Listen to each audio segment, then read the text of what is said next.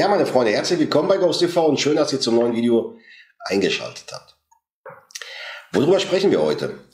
Relativ einfach, wir hatten unseren ersten Livestream und da hatte ich euch mal um so ein paar Vorschläge gebeten und da kam eben auch die Bitte, einmal um die Ecke ein Video über den europäischen Feuerwaffenpass zu machen.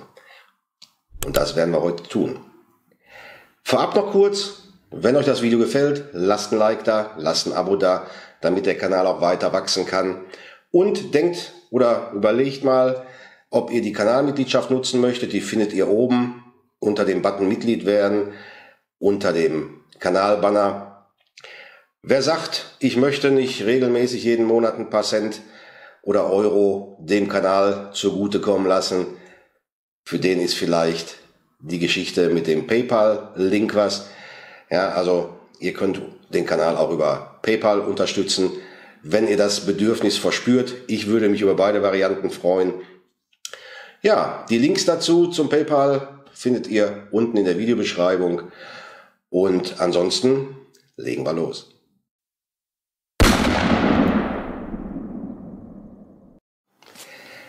Wofür brauchen wir den europäischen Feuerwaffenpass überhaupt? Das ist relativ einfach erklärt. Ja, ich blende euch auch unten immer die Passagen aus dem Merkblatt des BMI ein. Da könnt ihr hinterher auch in dem Link, den ich euch unten mit reinsetze, nochmal nachlesen, äh, was wir hier besprochen haben. Ich werde euch auch zusätzlich nochmal einen Link äh, mit in die Videobeschreibung packen, wo ihr auch den Antrag findet für den europäischen Feuerwaffenpass. Aber gut, wofür brauche ich den europäischen Feuerwaffenpass? Relativ einfach. Wenn ihr Waffen mit ins Ausland nehmen möchtet, ins europäische Ausland oder auch nicht europäisches Ausland, allerdings Mitglieder der Schengen-Staaten, ja, da sind dann eben die Schweiz, Norwegen, Island, Liechtenstein, dann braucht ihr den europäischen Feuerwaffenpass. Solltet ihr in ein Land fahren wollen, was nicht zu diesen Ländern gehört, weder zur EU noch zu den Schengen-Staaten, dann solltet ihr den trotzdem mitnehmen, weil es kann unter Umständen die ganze Geschichte etwas vereinfachen.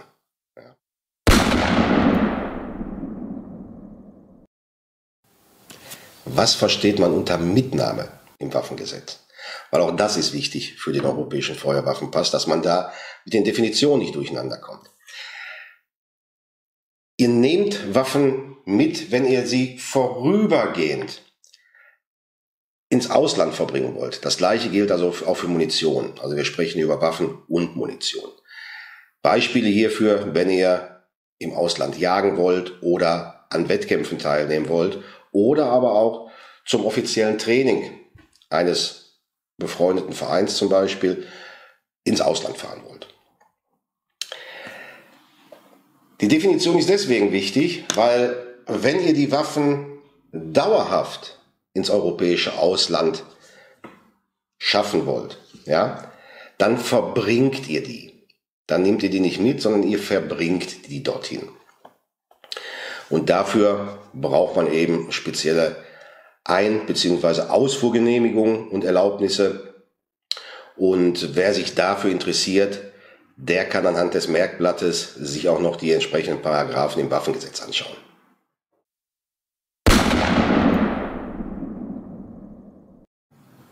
Welche Waffen darf ich mitnehmen ins Ausland in Verbindung mit dem europäischen Feuerwaffenpass?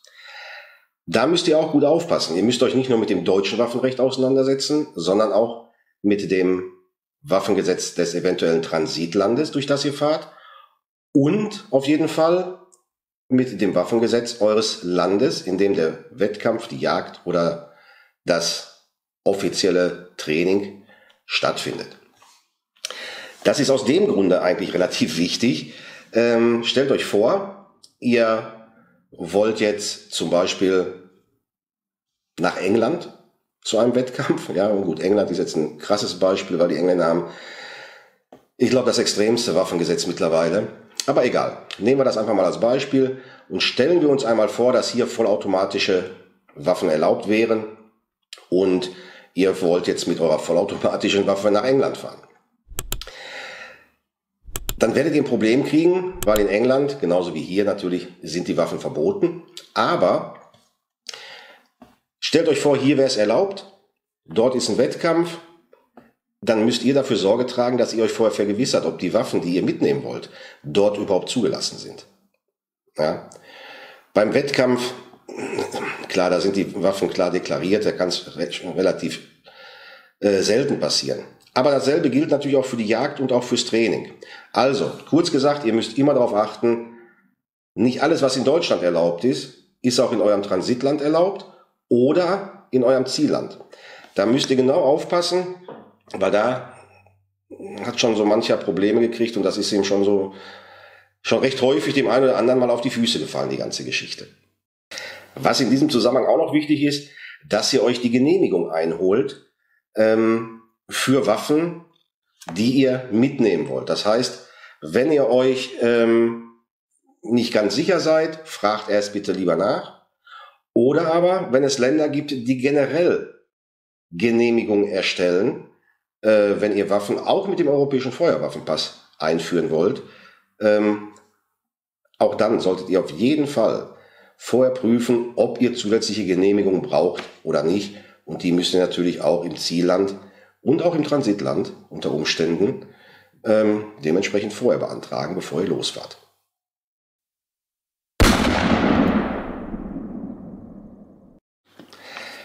Als nächstes stellt sich die Frage, wie viel Munition darf ich denn mit ins Ausland nehmen? Auch das ist relativ einfach. Wenn ihr jagdlich unterwegs seid, dürft ihr so viel Munition mitnehmen, wie gerechtfertigterweise für die Jagd, an der ihr teilnehmt, benötigt wird oder benötigt werden könnte. Fahrt ihr zu einem Wettkampf, dürft ihr so viel Munition mitnehmen, wie ihr für euren Wettkampf benötigt. Ja? Also wenn ihr zum Beispiel irgendwo hinfahrt, und wir nehmen jetzt einfach mal unsere Regularien hier, ihr wollt äh, eine Präzisionsgeschichte schießen mit einer Kurzwaffe, wo ihr 40 Wertungsschüsse macht und 10 Probeschuss, dann könnt ihr nicht sagen, ich nehme 300 Schuss mit. Ihr könnt eventuell sagen, ich nehme 100 Schuss mit, ähm, falls ich mal Probleme habe äh, mit der Munition. Aber das muss gerechtfertigt sein, das muss im Verhältnis zum Wettkampf stehen, beziehungsweise zu der Menge, die ihr für den Wettkampf benötigt. Da müsst ihr also auch drauf aufpassen. Was nicht erlaubt ist, von hier Munition mitnehmen und dann im, ins Ausland verbringen, das heißt also in, in, im Ausland belassen. Das heißt, ihr dürft die ähm, dementsprechend ähm, ja, dort nicht verkaufen. Ja, drücken wir es mal so aus.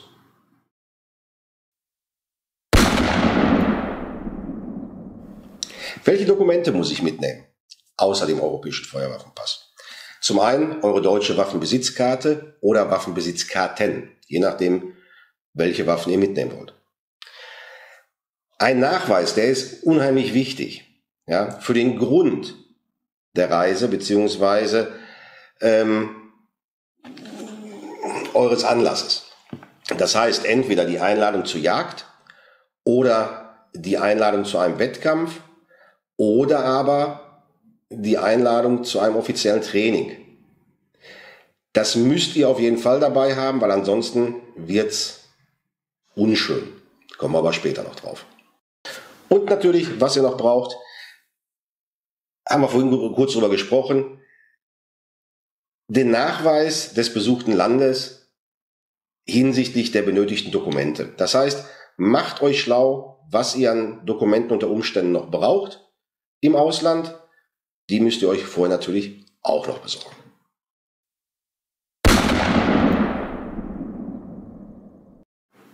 Wie müssen die Waffen und die Munition auf dem Weg zu eurem Wettkampf, zu eurer Jagd oder zum Training im Ausland hinsichtlich des europäischen Feuerwaffenpasses transportiert werden.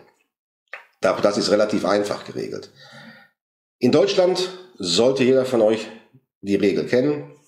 Die Waffen sind ungeladen, getrennt von der Munition, bestenfalls im Kofferraum und nicht in der Fahrgastzelle zu transportieren. Wenn sie in der Fahrgastzelle transportiert werden, dann sagt das Merkblatt, es muss in einem verschlossenen Behältnis stattfinden. Aber ganz wichtig, in dem Moment, wo ihr die Grenze übertretet, in ein anderes Land. Und da ist es wieder egal, ob es ein Transferland ist, also durch das ihr nur durchfahrt, oder euer Zielland. In dem Moment gelten die gesetzlichen Regelungen des Landes, in dem ihr euch dann in dem Moment aufhaltet, beziehungsweise in das ihr einreist oder durch das ihr reist. Allein aus diesem Grund würde ich mich da schon mal schlau machen, ob es da unter Umständen andere Regularien gibt.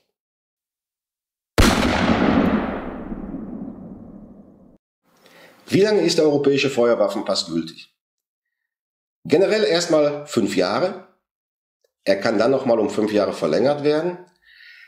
Wenn ich nur Einzellader Flinten eingetragen habe, dann gilt der auch zehn Jahre.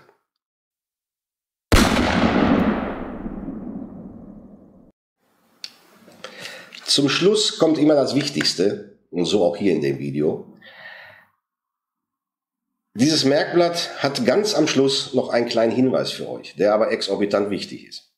Nämlich, dass dieses Merkblatt euch nicht als Inhaber des europäischen Feuerwaffenpasses davon entbindet, sich über die waffenrechtlichen Bestimmungen zu informieren.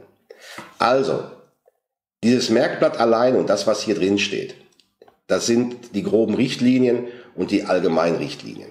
Ja, wenn ihr das beherzigt, kann nicht viel schiefgehen. Aber natürlich solltet ihr auch ein gewisses Grundwissen über das deutsche Waffengesetz haben und bitte denkt daran, wirklich schlau machen, wie sieht's in meinem Zielland aus und wie sieht's in meinem eventuellen Transferland aus.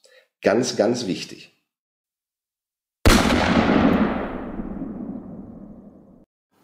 Ja, und zu guter Schluss, wirklich ganz zum Ende, ist natürlich noch wichtig, wie viele Waffen passen auf den europäischen Feuerwaffenpass, beziehungsweise wie viele kann ich da reinpacken lassen. Da unterteilen wir. Bei den Jägern sind es drei Langwaffen und die dafür bestimmte Munition zum Zwecke der Jagd.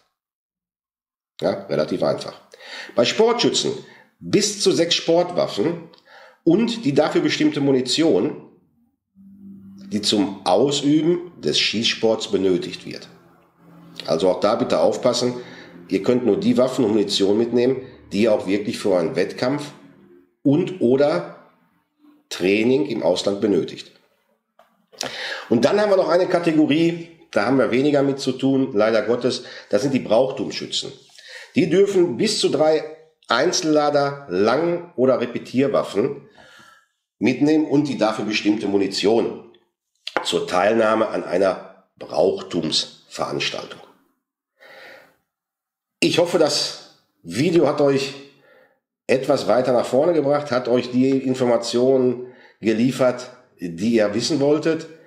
Wenn irgendwelche Sachen offen sind, schreibt mich ruhig an, schickt mir eine Mail, tippert mich bei Instagram an ähm, oder auch über Facebook, alles kein Problem. Dann werde ich eure Fragen da gerne noch beantworten. Ja, und ansonsten lasst mir ein Like da, wenn es euch gefallen hat und ein Abo. Denkt mal über die Kanalmitgliedschaft nach und behaltet mal den PayPal-Link im Auge. Ja. Bleibt gesund und munter und ich hoffe, wir sehen uns beim nächsten Video wieder und wir sehen uns bis dahin. Macht's gut.